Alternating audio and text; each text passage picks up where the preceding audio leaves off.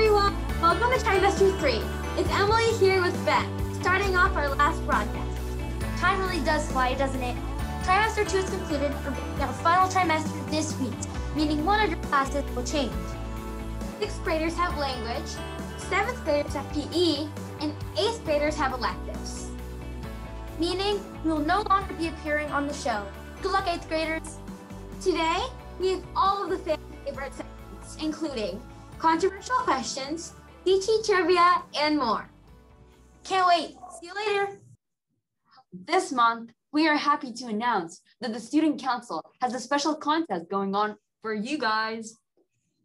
Yes, they want all of us to dig deep in our collection of masks and come up with the funniest mask that you have. Please submit a picture of you in your funniest or most creative mask. See the email that was sent out by Mrs. Mendelson. We'll be choosing five winners on April 1st, and this is not an April Fool's joke. Each winner will receive a Salt and Straw gift card. We can't wait to see all the creative and funny masks you guys sent in. Thank you for sharing. Welcome y'all to your weekly DT trivia. I'm so sad. Wait, what? You don't know? I don't know what. This is our last trivia. Oh no, wait, what? Why so soon? So this has to be our best one. Agreed. Now, enough sadness. We must state what may be our final trivia questions. For our last first trivia question, what year was the very first iPhone released? Uh, it has to be around 2009 when Angry Birds came out. So, well, for our last second question, what was Twitter originally called? The next question is, which country produces the most coffee? And the concluding final question of DT trivia is, what is the highest waterfall on Earth? That's all the trivia questions we have for today. Stay tuned to see the answers. Hi, Crocker. I'm Elizabeth Carroll. I'm the leader of the Arts and Crafts Club here at Crocker. I'm reminding you to come to the club on Flex Fridays at 2 o'clock. Hope to see you there. Hello, Vikings, and welcome to another weekly controversial questions. Today, as you may already know, is the first day of trimester three, which unfortunately means that this is our last show. The first question is Is banana bread bread or cake? Banana bread is bread because it's in the name and it doesn't have any frosting like on a cake. That's just what I think. The next controversial question is Is rainbow a color Hmm. I think that rainbow is just all the colors combined, not just one color. Anyways, the last question. We were really creative, so we couldn't come up with anything special, but here it is. Do raisins belong on cookies? I think that raisins do belong on cookies because raisins are good, but ch- chocolate's just better. We want to thank everyone who has filled out all our forms. Thank you for everyone who has watched our segment. Goodbye, Crew World. Hi, Vikings. This is our last show with you, so we wanted to end it with a thoughtful note. This week's topic is mental strength. Over the past few months, we've been focusing solely on the physical aspects of exercise. However, your mental mindset is just as, if not more important than the physical part. Serena Williams, one of the most famous women tennis players out there, once said, I really think that a champion is not defined by their wins, but by how they recover when they fall. Having mental focus and will help you bounce back quickly. For the first exercise, find somewhere to sit, preferably where it's quiet and calm. Select an item, ideally one that you're interested in. Set the item in front of you so that you can stare at it. Focus on all the little details you see. This is a focus exercise. Doing this for even five or 10 minutes every day will improve your concentration. For the second exercise, sit in any silence, preferably one of that is quiet though. Take a deep breath for four seconds, hold it for seven seconds, and then exhale for eight seconds. Remember that in order to be successful, your mindset has to be positive. Your mind is more powerful than you think. and you have to believe in yourself to move forward in life. Well, that's it for our segment. This is Emily and Emmy signing off. Have a great third trimester. Bye. I'm so sad. Hey, I can't believe it's our final Would You Rather. Oh yeah, we're on. Ah, hello everyone, and today we have some. Would you rather? Sadly, this is our final Would You Rather for this trimester. No, it has gone too quick. I know, right? Well, let's get on to the best would you rather yet. Okay, first one. Would you rather spread all your homework throughout the trimester or do it in the last two weeks of the trimester?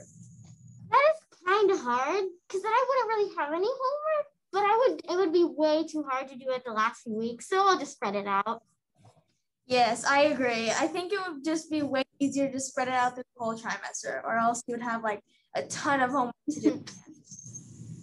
Okay, next one. Would you rather go meet your past ancestors or your great, great, great grandchildren in the future? I don't know. I think I would want to go see my ancestors because I would ask them if I'm related to someone very special in the world, you know? Easy. I would go to my past ancestors and either figure out if I'm related to some famous person and then just steal a few very old pennies and think that I'll still sell, sell for millions when I get back. oh, Ariana. Okay, last one. Would you rather know all the answers to everything that hasn't been answered, but not able to tell them to other people? Or know the one thing that hasn't been answered and be able to tell everybody? I would want to know everything and then I could just watch others struggle as they try to figure it out. That's good. I want to know everything because like I'd be the smartest person in my class, you know, and I weren't. I wouldn't have to worry about getting a bad grade. Thanks to all the people who filled out the form over the past few months of the trimester. I'm so sad that this trimester is going to an end. I could have thought of a better trimester. I'm going to miss you all so much. Remember us! yes, well said, Ariana. I hope you guys had an amazing second trim- trimester and have an amazing third one too. Good luck, eighth graders. You'll be taking it from here. Bye. Don't forget us! It's Emily and Emmy with some library news. This Wednesday, March 10th, from 4 to 5 p.m., the Burlingame Library is having a virtual author visit for grades 4 through 6. Margaret Dilloway, the author of Summer of a Thousand Pies and Momotaro, will teach you how to make pies and talk about her books. If you would like to attend, make sure to sign up with the link that Mrs. Air emailed you. Have a great week! Hey Crocker, it's Everett here with Tucker with our final sports segment. MLB regular season is starting on April 1st, which is less than a month away, and spring training games have already started. The Giants are going to be taking on the Mariners in Seattle on opening day, April 1st, at their home opener. The Giants' home opener will be on April 9th against the Rockies.